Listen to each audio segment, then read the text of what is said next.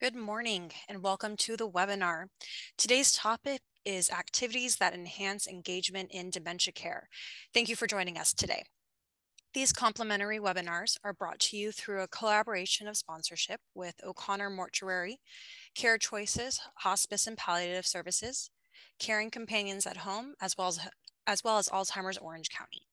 My name is Lauren Weiss. I am the Education Coordinator here at Alzheimer's Orange County, and I will be your host today.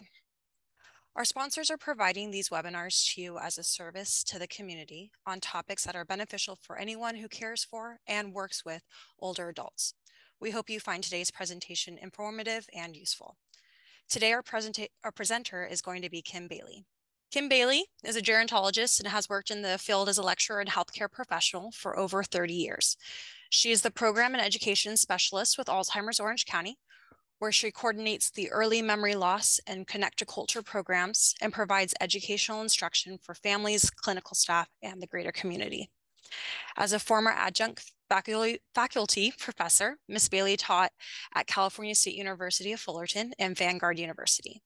She has also served as a corporate gerontologist for the Hartford Insurance Group, Director of Community Relations and Development for the UC Irvine Alzheimer's Disease Research Center, and consultant for Alzheimer's Care Associates and principal for care management for older adults. Ms. Bailey is dedicated to serving the needs of our older adult community and is passionate about assisting individuals and families affected by memory loss. She holds a Master's of Science degree in gerontology and a BA in sociology with a minor in human services, both from California State University, Fullerton. Okay, and now I will hand it off to Kim. Well, hi, everyone. And Lauren, thanks for that introduction. I'm so happy to be here today as a speaker. Uh, many of you know my typical role is that of monitor, so I get an opportunity uh, to share in a different way with you today. And so that makes me happy. And we're talking about activities and engagement in dementia care. And our objectives are uh, well, first, I'll do a quick overview of dementia, specifically how it uh, affects our ability to connect with persons with dementia. I want to go over uh, well, it says several strat strategies, but I really want to focus on person centered today. Uh, the Best Friends approach by David Troxel will be covered by David Troxel in a separate webinar on July 24th. So everyone mark your calendars for that. Uh, and then the Montessori method, you can check that out on your own. That's another method that um, has a lot of value, but we're really going to stick with person-centered today. I want to talk about the concept of contented involvement. I want to go over different types of examples of activities uh, that are successful or failure free. And I'll talk about the concept, concept of right sizing activities for people as they progress through the disease. So, first of all, how does dementia challenge our ability to connect with others? So, this is a quote, and I think it's quite powerful. It's by um, someone that we here at AlzOC have a lot of respect for. That's Dr. Al Power. He has worked uh, uh, nationally uh, doing training for care communities, and he's written several books, including Dementia Beyond Disease and Dementia Beyond Drugs. And he says, our societal view that people with cognitive changes cannot learn and grow cannot care for others and cannot give meaningful input and do not have a useful role in society, all of those stereotypes blind us to meaningful ways in which to engage folks with dementia. So, um, you know, one of the things that I talk about a lot is that yes, dementia is, or Alzheimer's and other dementias are diseases that uh, ultimately lead to multiple losses, uh, horrific losses. We cannot lose sight of the person that remains. The heart and soul of that person stays intact throughout the disease, their long-term memory, their core values, etc. So we need to look at them in a different way. They're not just residents or patients uh, you know, that uh, are at end of life experiencing dementia, they are people that we need to really uh, find ways to connect with and make them feel productive and a part of life and a part of living still. So um, you know, many of you are experts in dementia and have been for many years, but we always have new folks on the webinar as well. So I just want to quickly explain that dementia is an umbrella term. It's not a disease in and of itself, but it's a collection of symptoms. It describes a variety of progressive terminal brain impairments that affect memory, thinking, uh, judgment, and really the ability to take care of oneself. So these brain changes are gradual and take place over a, a, period of years, and they slowly but surely erode the person's perceptions and limit their impulse control. Uh, they cause personality changes and all kinds of havoc. Um, their interpretation of the environment and how others approach them is changing over time. And a person may lose interest as a result in things they once enjoyed, or perhaps they simply are having difficulty initiating an activity. So let me go back to this third bullet point for a moment. And I want to say that one of the things we know about dementia is we can't change the people. We can't change the fact that they're on this trajectory, but we can change our own approach and we can change the environment. So keep those two things in mind uh, as we look at activities and and uh, and their place in the lives of people with dementia. And then also remember bullet four, a lot of times they've just lost their starter button. And so it's not that they can't do things, it's that they need help getting started. So we can use prompts and cues and we can help to get people started and then they have uh, you know the ability to persevere. So keep in mind repetitive activities where they can do you know same motion over and over again. They can often be very successful in that vein. So our goal is to connect with people and to engage them in activities engage them in living when we have a disconnect we can see all of the things you see on the screen and more. We see sadness, agitation, um, problems with sundowning, wandering, uh, boredom, restlessness, etc. So really, this whole discussion of activities is key. So let's get right into the person-centered approach.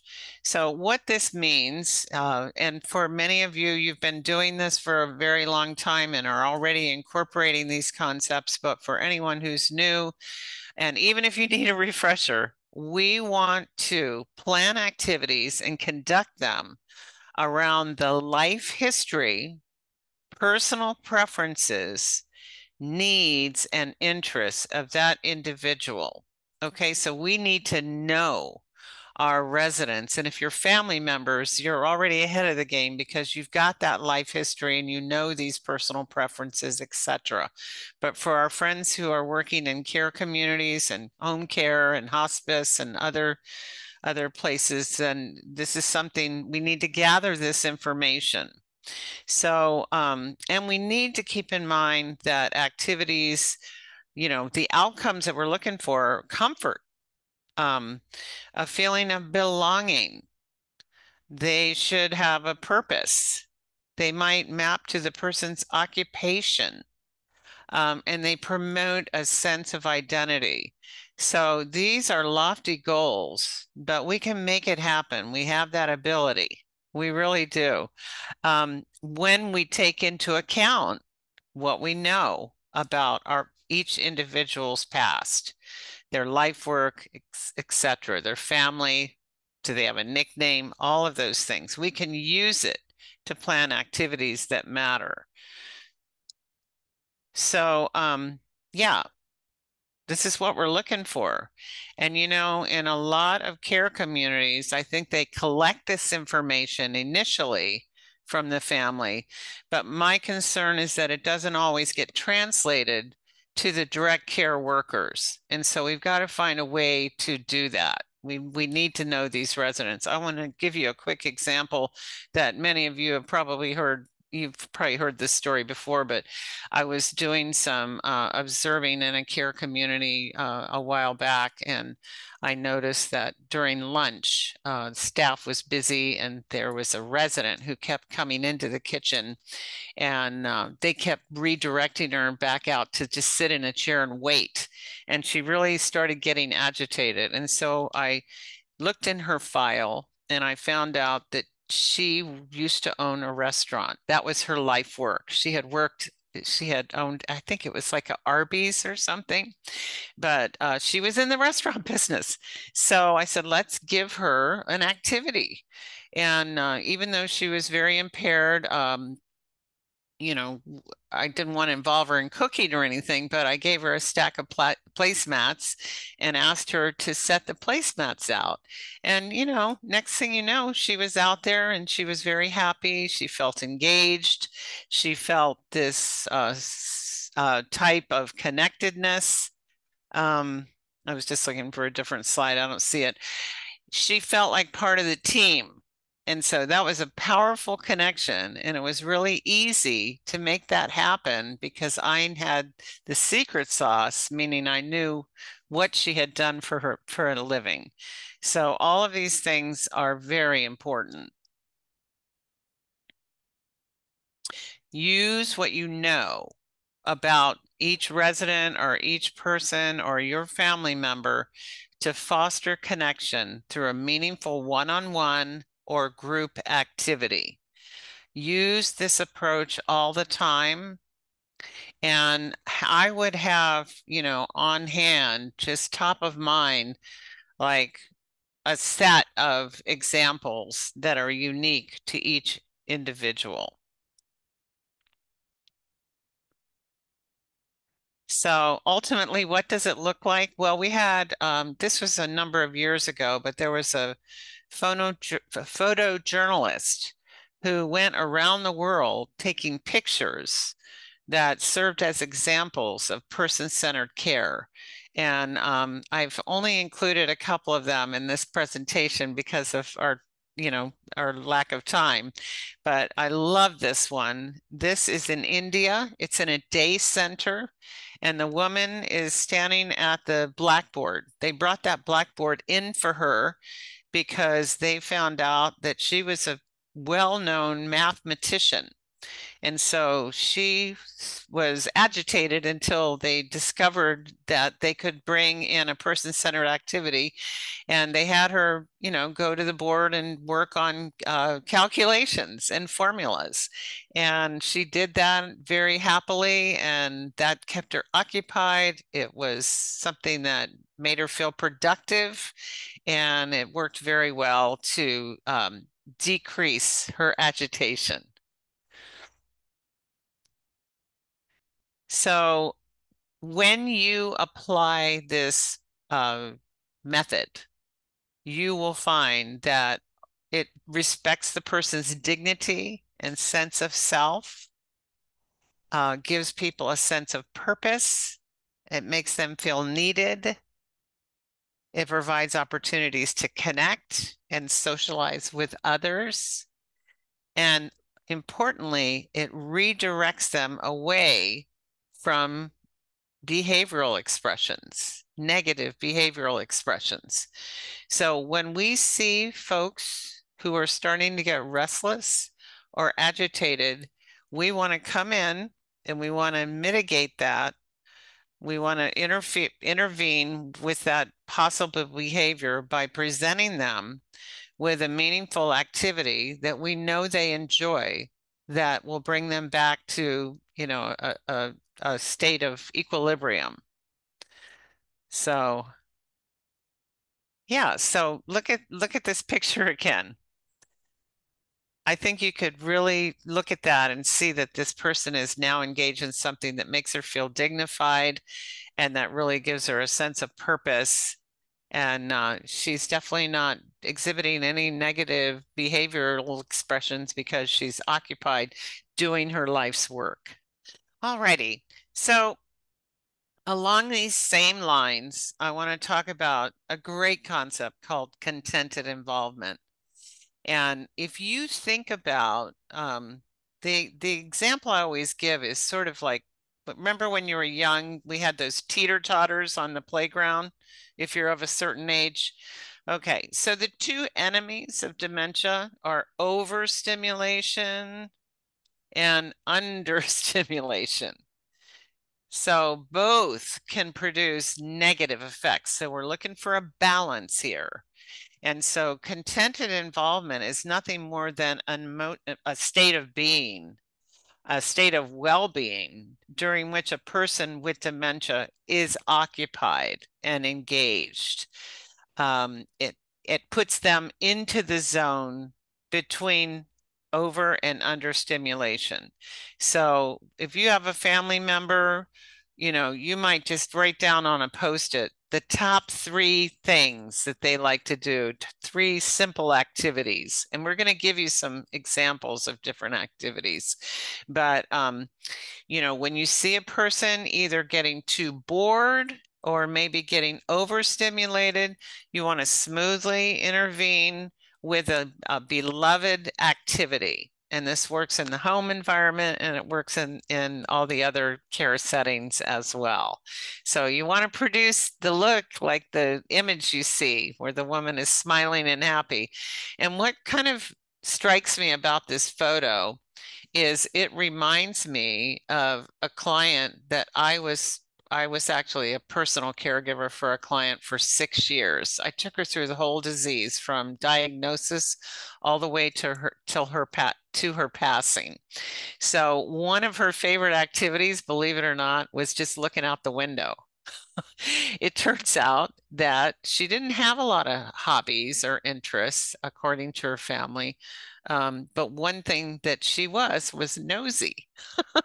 she liked looking out the window and commenting on, oh, Mrs. Jones, you know, just got another delivery. I wonder what she's doing over there. I mean, she was just sort of up on everything that was going on in the neighborhood.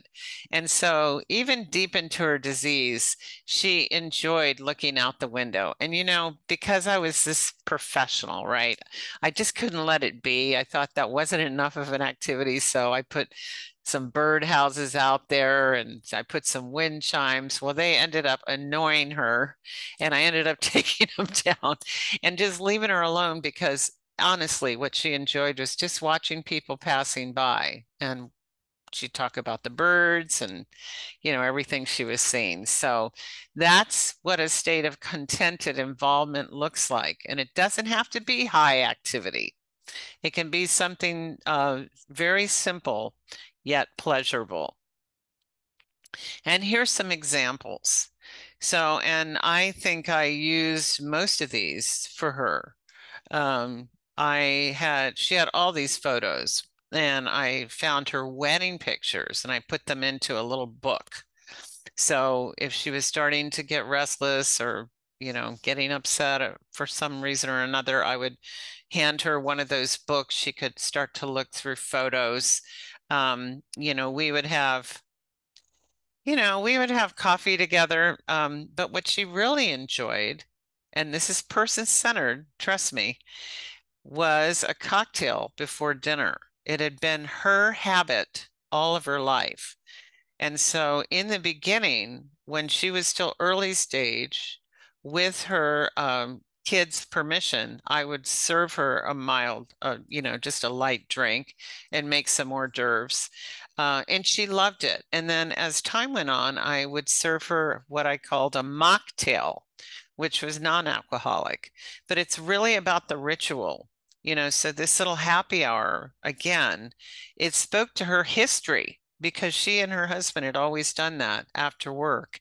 And uh, it was a very pleasant time for us uh, until she started getting into sundowning and that's that's another story but again photo albums having a beverage sitting in a chair and looking outside as i described holding a familiar object music, listening to music. Look at the expression uh, in this on the, the face of this person in this image. Just absolutely contented involvement all the way. Listening to music that they enjoy from their background, not your favorite music, but it's their music. Uh, so maybe a headset, an iPod, you know, are, might be a good idea. Um, taking a walk, holding hands. Again, simple but tried and true activities. And remember what I said in the beginning. It's about our approach, and sometimes our approach isn't working. So this is another picture from that same group of pictures taken by that photojournalist. This is a man who is living in a care community in Japan and he refused to come out of his room. And they would open his knock on his door and open it, and they'd say, Come out, we're having singing, come out, we're having an activity. And he would not come out. So they discovered that in his past, his favorite activity was dancing. And so, you know, they literally danced him out of his room every time they wanted him to join in for an activity. And he was very, as you can see from the picture, he was very happy to do that. So we have to adapt our approach to really encourage people to want to engage with us. And I know in previous seminars and webinars, we've talked a lot about facing front, uh, facing them you know, and, and making eye contact and not getting too close, but, um, you know, speaking softly and clearly, um, you know, using gentle touch, you know, all of that approach is really important. The right body language, the right tone, the right volume, all those things that we can do to build trust um, and engagement with our loved ones and residents. The best friends approach, just quickly, um, it just suggests that what a person with dementia needs more than anything is not a paid caregiver, but a best friend. Uh, and so when we see, and this is for the professionals on, on the line with us, when we see professionals functioning more as friends and using that approach, people feel more safe and secure and valued. And so, again, I'd love for you to mark your, excuse me, mark your calendars for July 24th for a very special webinar by David Troxel on the um, highly valued best friends approach. Okay. Right sizing is a term that means that as people are progressing through the disease, we need to continually adapt and simplify activities. So we don't want to take anything away from people. When we know, we know them well, we're using a person-centered approach. We know, um, I'm going to use a really kind of different example. We we had a woman that we were working with here uh, a few years back, and she was a horse person. She loved horses. So, you know, this, I kind of watched this through the whole progression of the disease. The family at first, you know, she was riding, but then it progressed to she wasn't riding anymore, but she was still involved in the care of her horse grooming and feeding and all that. And as she became more and more advanced, they would you know, um, read books about horses or show pictures of horses. And I think by the time she was in the final stages of the illness, they were using a stuffed animal that was a horse uh, that was she carried everywhere with her. But, you know, it sounds crazy, but you see how that theme of horses was kept throughout the entire trajectory of the disease. So, but in your care settings and at home, you can, um, a, a better example would probably be puzzles. So they like puzzles. Maybe they do the thousand piece one. You've got to kind of watch as they progress. If they're having difficulty with the big Those puzzles, you want to go to fewer pieces, bigger pieces, more visible, easier, etc. So, um, and we just kind of do that in such a way that it's not completely obvious, but um, and it's hard sometimes because we see people every day and it's hard to really know when they're progressing, isn't it? It's kind of hard to tell when they're moving through the different stages. But if we don't adapt and simplify these activities, then what happens is they're not successful at the activity and therefore they become frustrated, agitated, maybe even angry. And so we want to right size things so that all of our activities are what we call failure free. And as we get into the later stages, we can even do um, activities that are more sensory in, nat in nature. So I was just saying that in the later stages, it's wise to use activities that appeal to all the senses.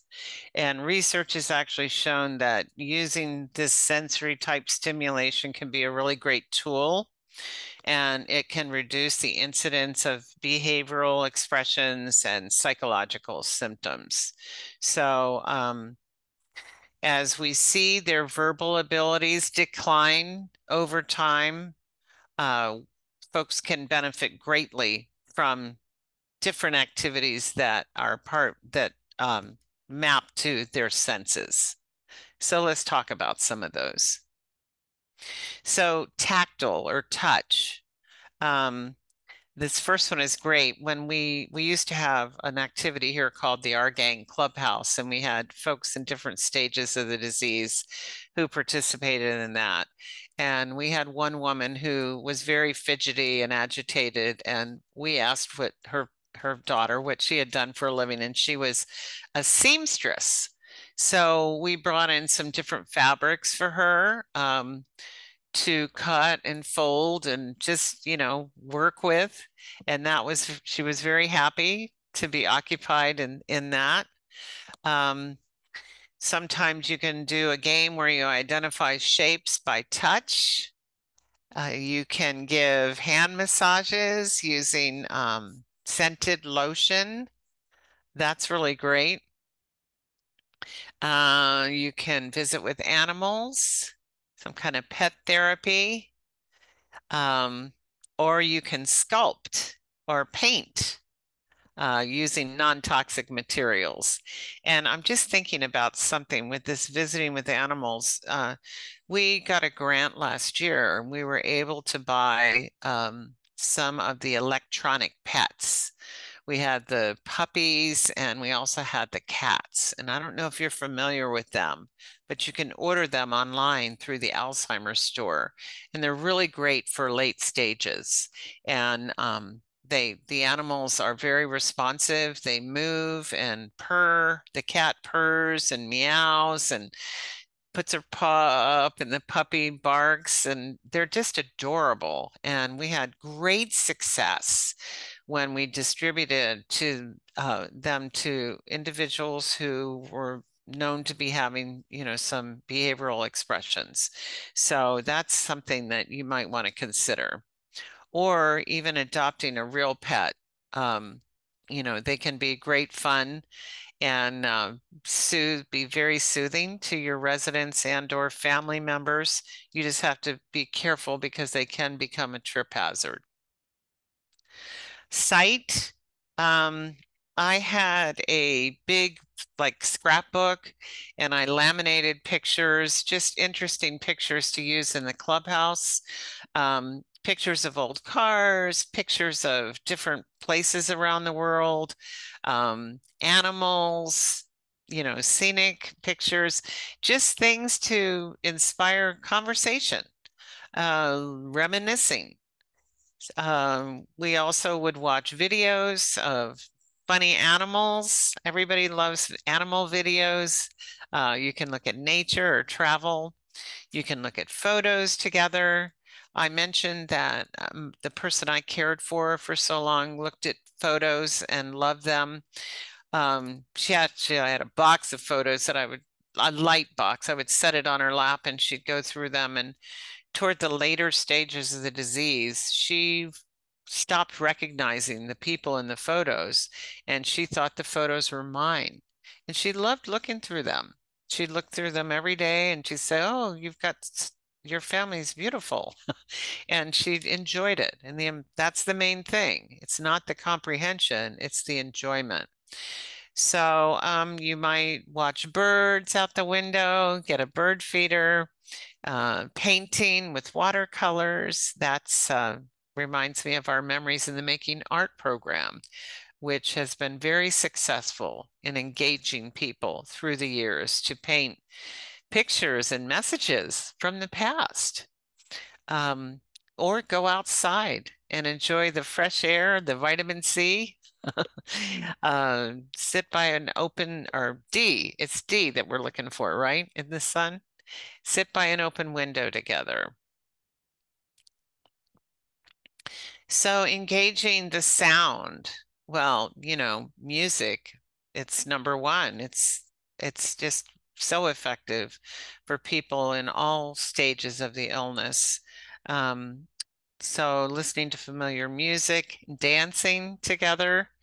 Uh, we have a Connect to Culture program here at AlzOC, and we invite people living with dementia and their care partners out into the community to have dances to live entertainment and it's just so much fun to see them singing the old you know the classic songs from like the 60s and 70s now and um, also you can listen to recordings of the sound of nature.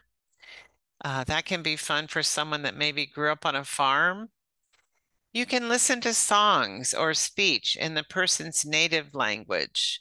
And you know, for many people with dementia, they will revert to a native language uh, later in the disease, their first language. And that's because of the problem with short-term versus long-term memory. So the the native language is embedded in their long-term memory. They remember that, and as they're forgetting language in uh, the English language, they'll revert to um, their first language. And so, uh, if you can, again, use music or read poetry or books, it's beautiful. I mean, even when people don't understand what you're saying, like reading out loud is a wonderful activity because they just enjoy the sound of your your voice. So, yeah. Smell. You can, I tried this a couple of times, the small plastic bags with the different scents. And it's a little bit, it, it, it worked out okay, but for some it can be a little too overwhelming. So I would suggest, you know, again, the fragrant lotion for the hand massages.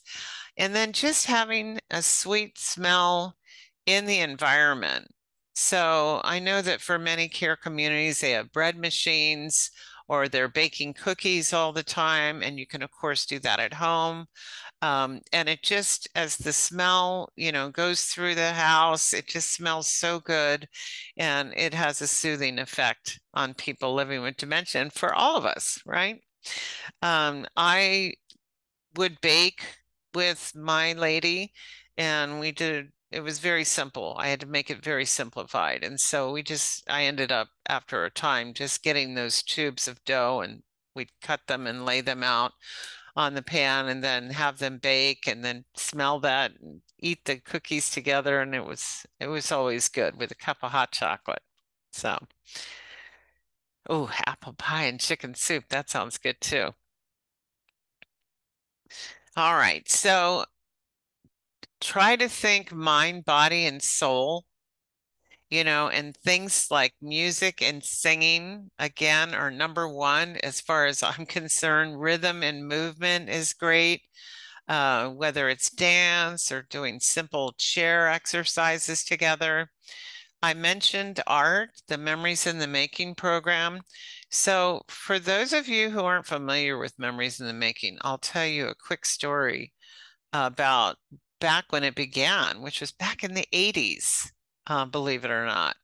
Uh, there was a man who was in a day center and he was pretty impaired. He didn't have any like really have any language.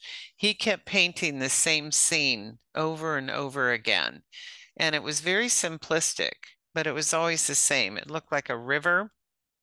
And then there was a tree that was, you know, sort of hanging over the river like a weeping willow.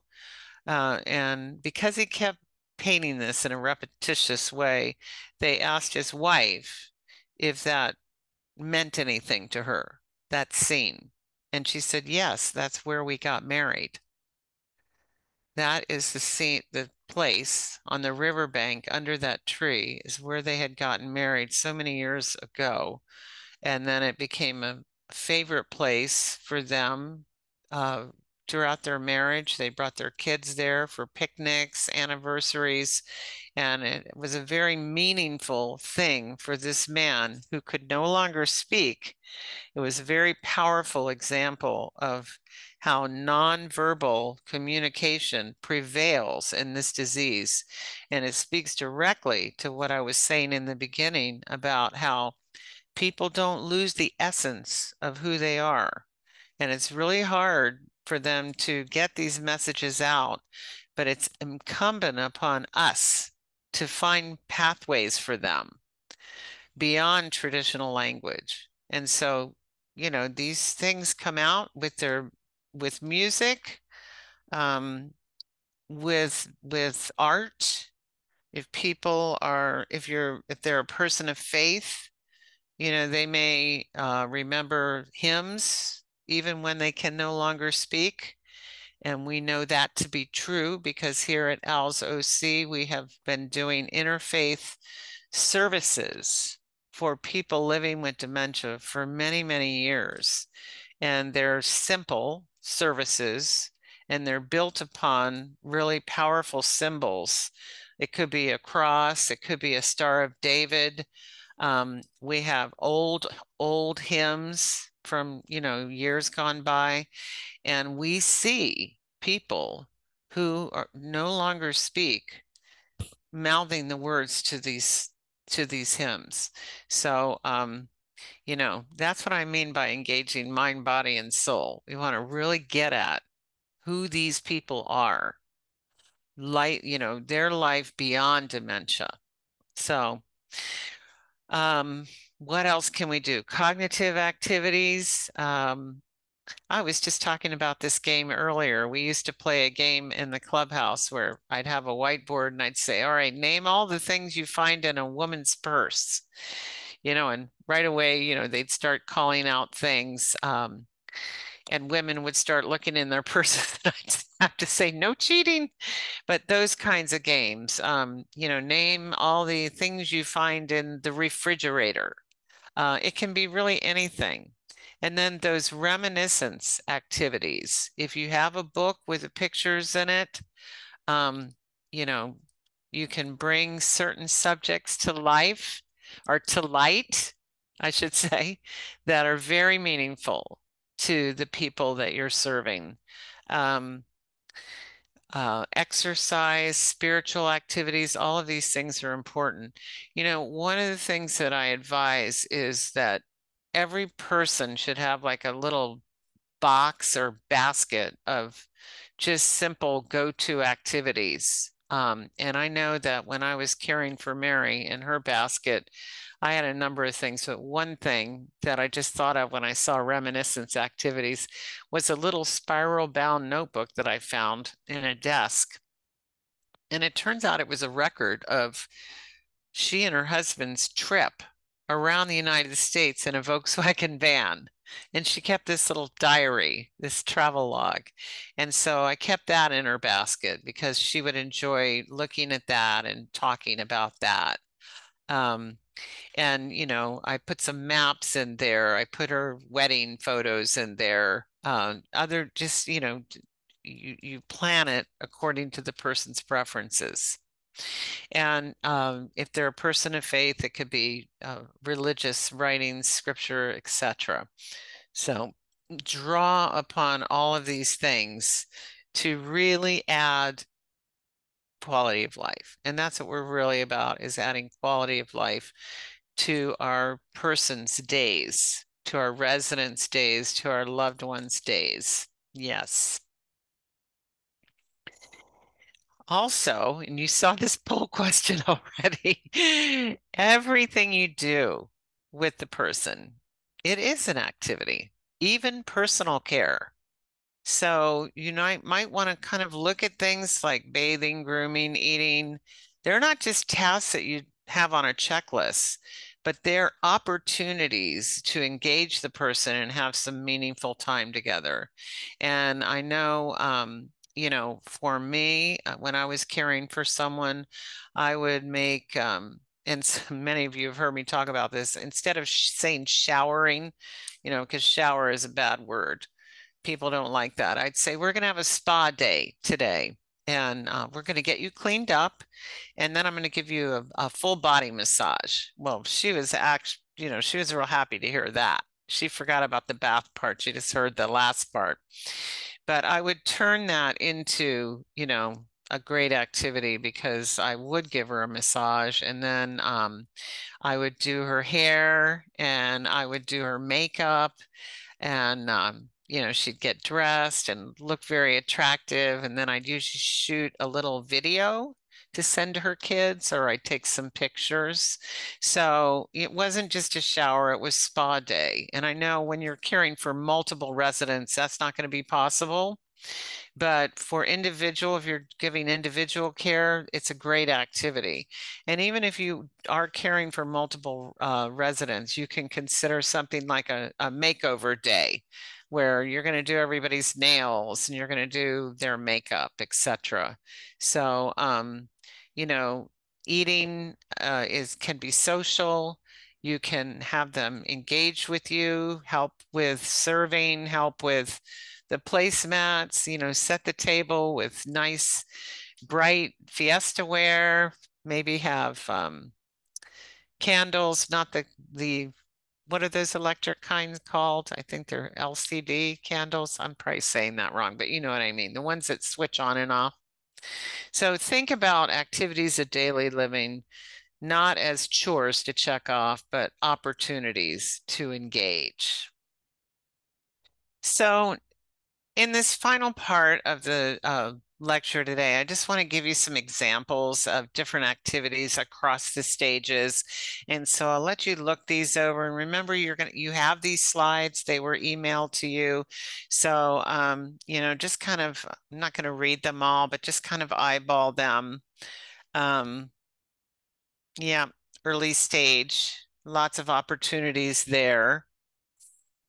And then middle stage, you see more tactile things here, sorting, matching, puzzles, etc. But you see how some of these things go across the stages, right? You see music in all three stages. Um, yep, household duties. Oh, there you go.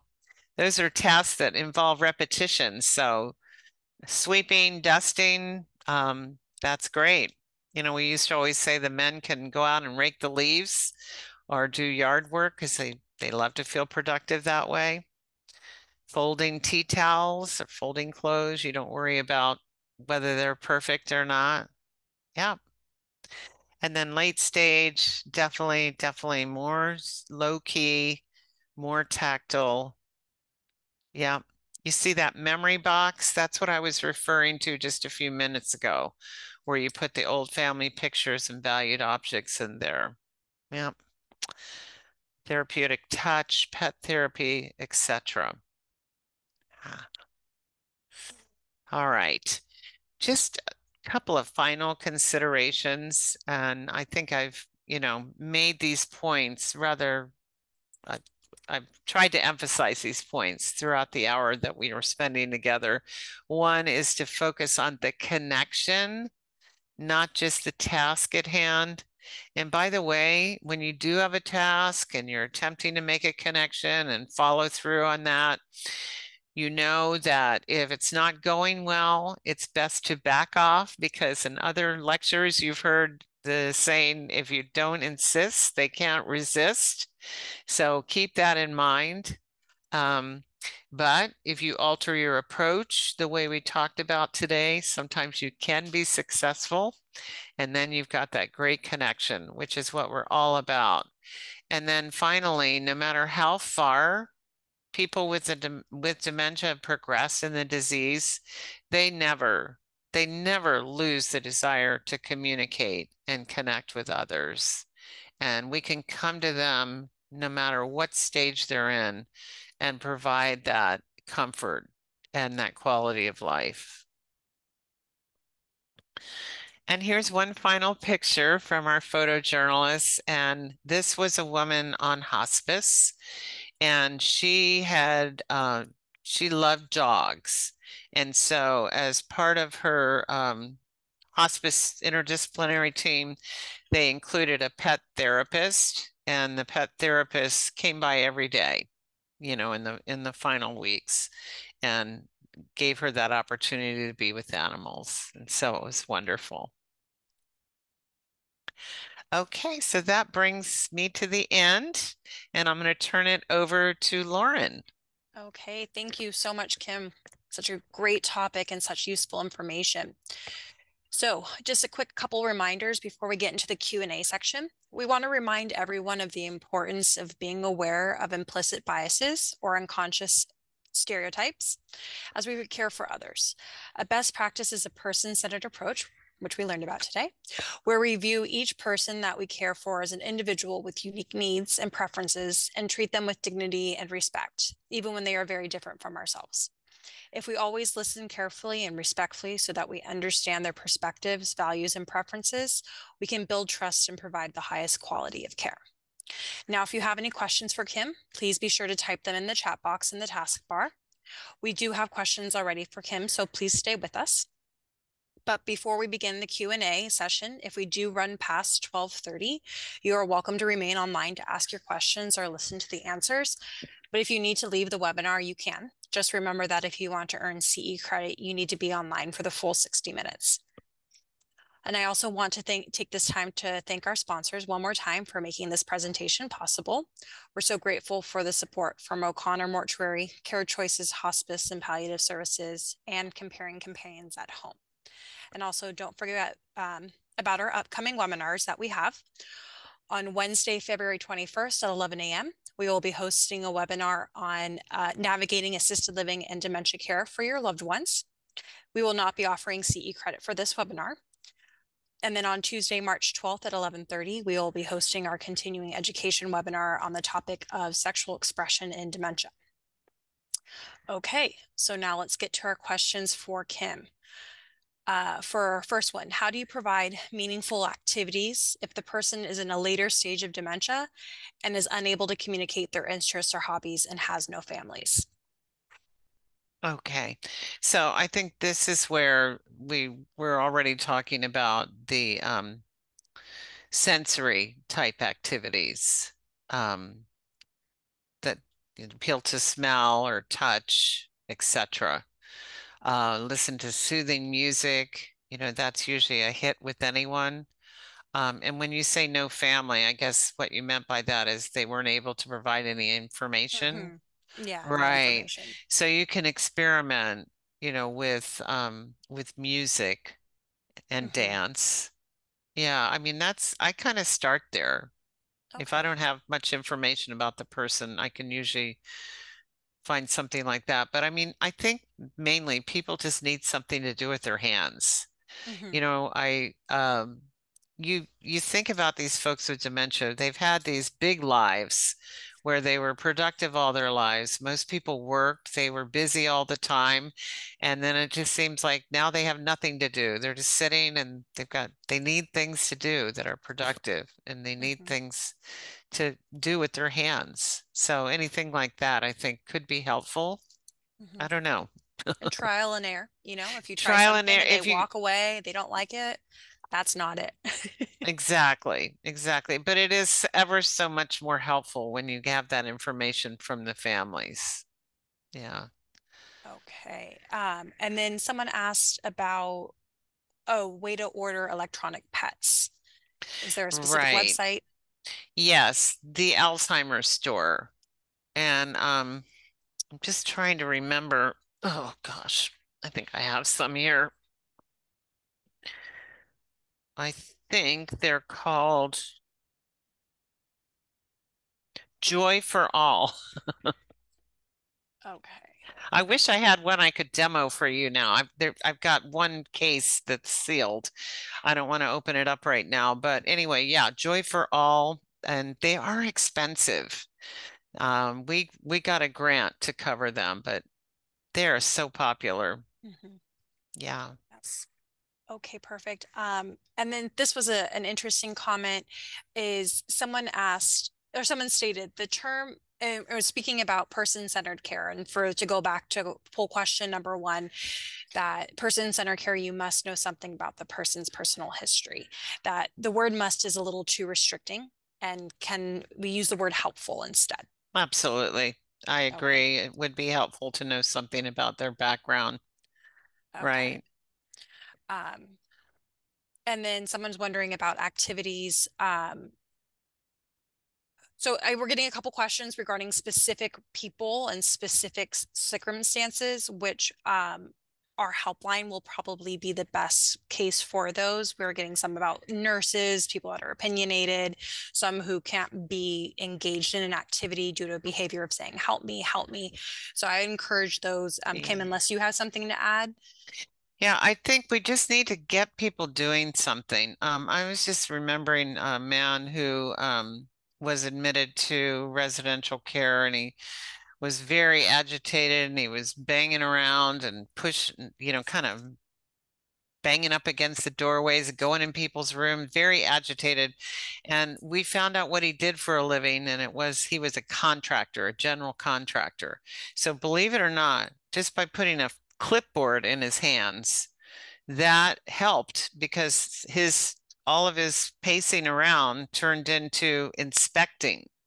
And so he was walking from room to room and like checking things off on this clipboard. It was like a miracle but you know because he was used to being the head honcho he was very you know assertive he had been the head contractor all his life and so just just a simple device like a clipboard kind of gave him a purpose and made him feel you know it, he he engaged in a different way as a result.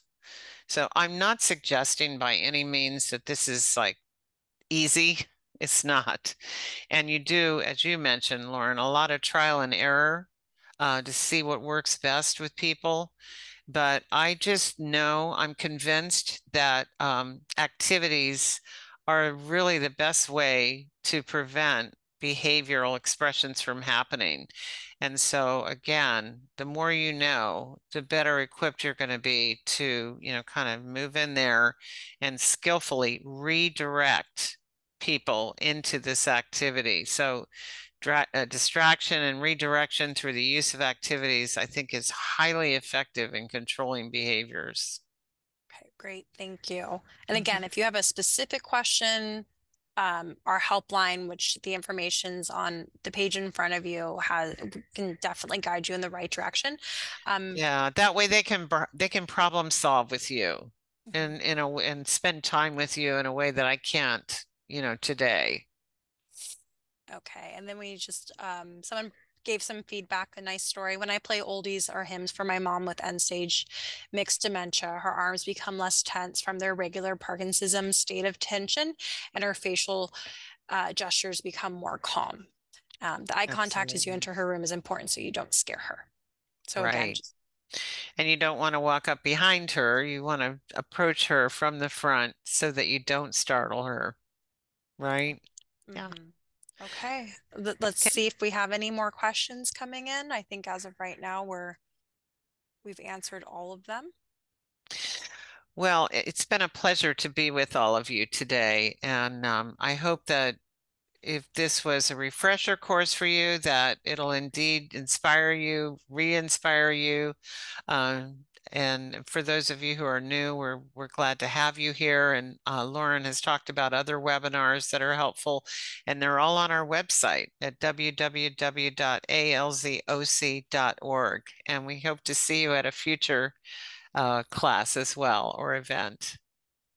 Okay, wonderful. Thank you Thank for you. having me.